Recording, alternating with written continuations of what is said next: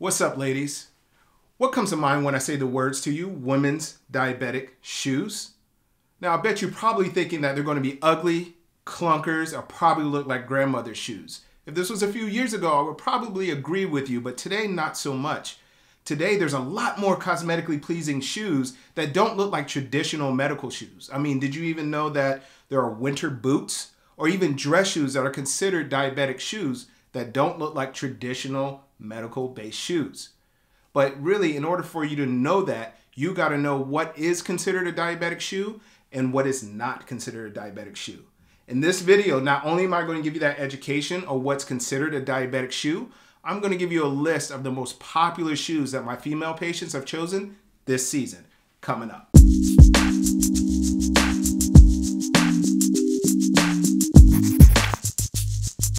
What's up everyone, Wobeaux here, Grayscale Media, bringing you all the tips and tools in technology, healthcare, and everything in between. And on this channel, I do a lot of tip videos and product reviews to keep you updated on today's healthcare and its technology. So if you're new to the channel, consider subscribing. Let's jump into the video. So before I begin, I just want to emphasize to all of you that it's important that you go see your doctor to get a proper diagnosis of diabetes before you buy any diabetic shoes. So if you're unsure make sure you go see your doctor. If you don't know where to begin, I've listed the link above and the link below to my first video to give you an education on how to see your doctor and how to properly start this process. So that makes sure you also get the proper treatment. The four characteristics that every diabetic shoe should have are these four right here. They must be Velcro or laced. They must be extra depth because they got to accommodate a diabetic insert that goes inside, which we'll get to in just a moment. They have to have padding inside of them. Roughly about 80 or 90% of the inside has to be padded.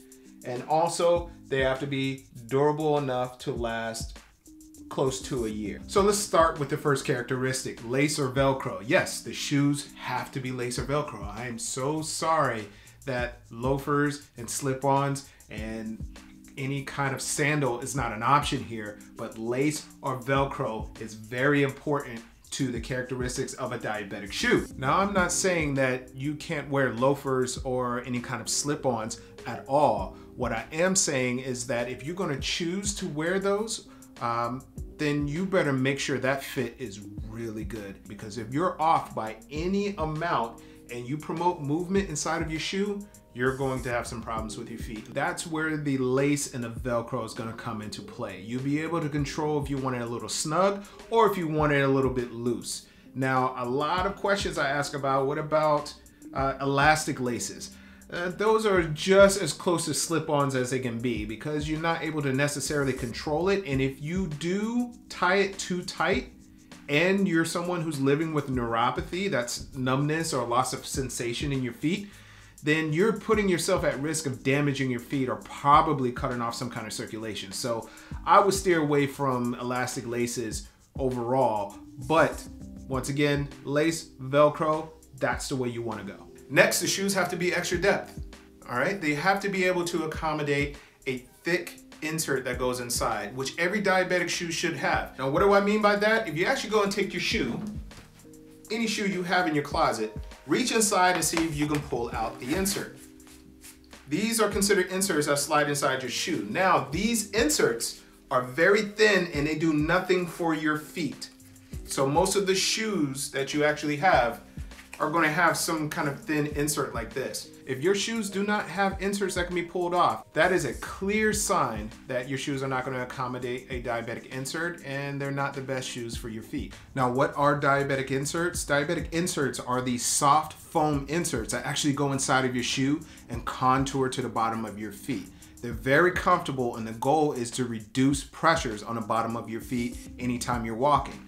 So you want to make sure that your shoe can accommodate them because they're made pretty thick. And the biggest indicator of the shoe, if they will accommodate it, is if you actually can pull the insert out of it. So just make sure whatever shoe you choose can actually accommodate a thick insert like a diabetic insert so that way they can work with your shoe very well together and protect the bottom of your feet.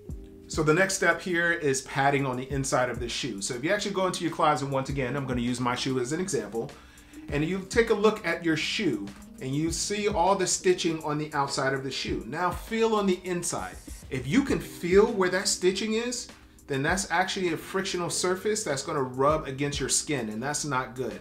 Most shoes that are qualified as diabetic shoes should have padding all on the inside of that shoe or at least 80 to 90% of it is padded because in the long run, if that's not padded and you're walking around and that keeps rubbing your skin, then you're probably going to have a lot of skin issues down the line. So make sure you have padding on the inside of your shoe.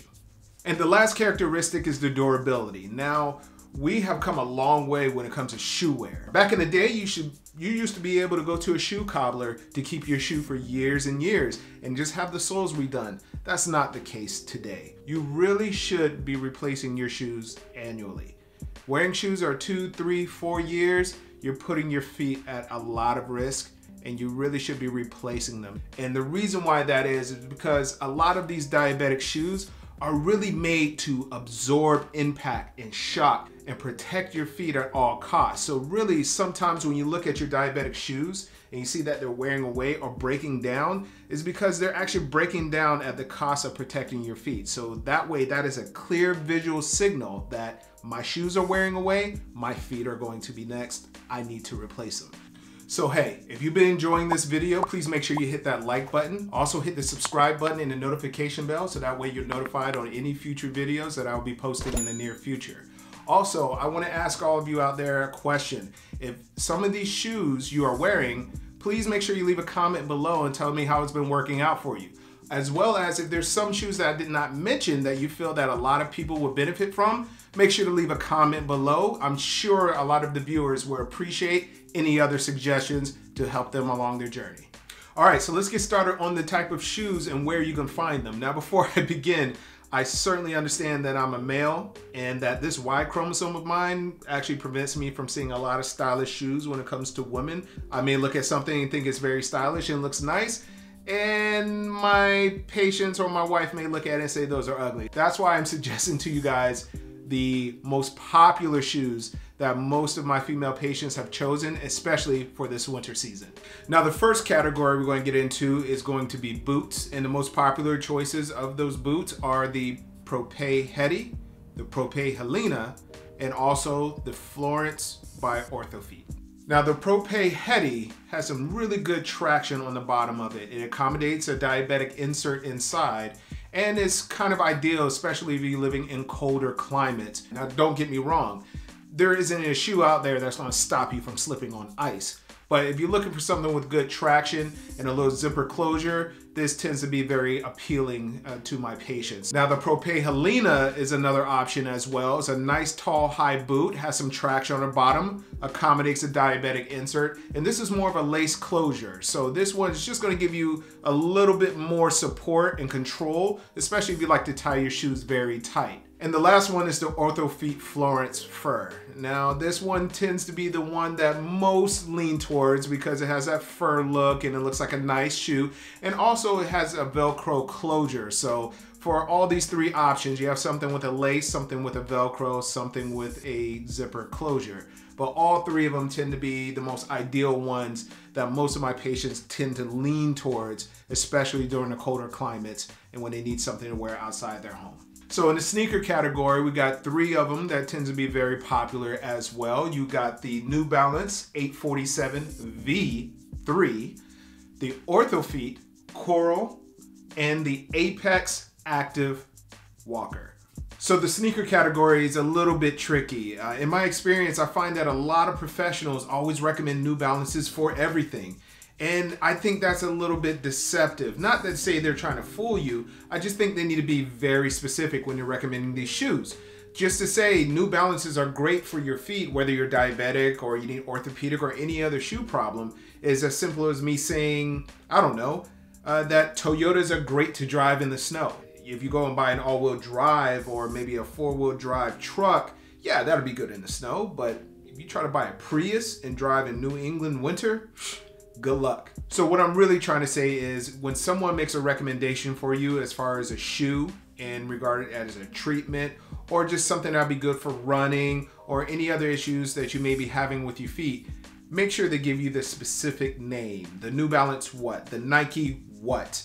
Just simply saying a broad statement like New Balances are great for your feet, uh, it's not necessarily true. And with that being said, I, I did list a New Balance in this category. So, but of course, this is a specific style that is really catered towards diabetic wearers and it tends to be very popular amongst my patients. It comes in multiple colors and it does accommodate an insert and it does have padding on the inside which is good and it looks like an everyday shoe so if you're looking for a good walking shoe this tends to be the one once again that my patients lean towards and it's very very popular the Orthofeet Coral shoe is a nice looking shoe. It's once again cosmetically pleasing and it does fulfill all the requirements as far as a diabetic shoe and is A5500 coded, which means it's Medicare approved as a diabetic shoe. So if you're looking for a different option and you want to steer away from New Balances or any other brands, here's another option for you. It's called the Orthofeet Coral. You should definitely check it out.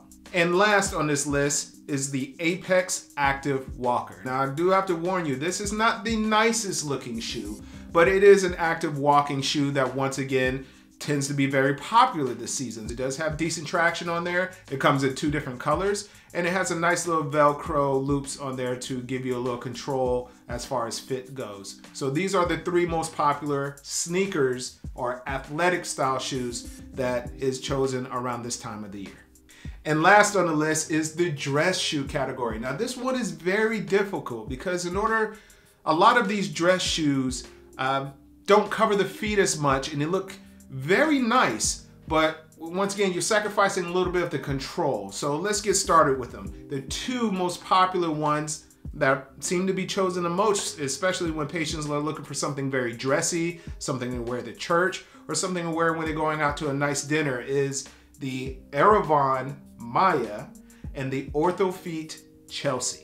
Aravon Maya is a nice looking shoe, uh, I have to say so myself. I didn't recognize it as being a diabetic approved shoe, but it does accommodate a soft insert on the inside and it does look like a nice dressy shoe with a heel. And the last one is the Orthofeet Chelsea. Now take a very close look at this one. This one teeters on the slip-on realm, but if you look very closely, it does have Velcro closures on the side. I, I would say that this will be an okay option, but once again, you just really got to make sure that the fit is ideal, the fit is optimal, and you're not putting yourself at risk. But overall, the Orthofeet Chelsea is a solid option. So those are the most popular shoes that most patients choose during this time of the season. So I will list them all below here and you can have all the links to find them print them out, take them to your doctor's office, and see if they can supply them to you using your insurance. But if you can't, at least you have the information below where you can purchase them from the links and actually get them as soon as possible.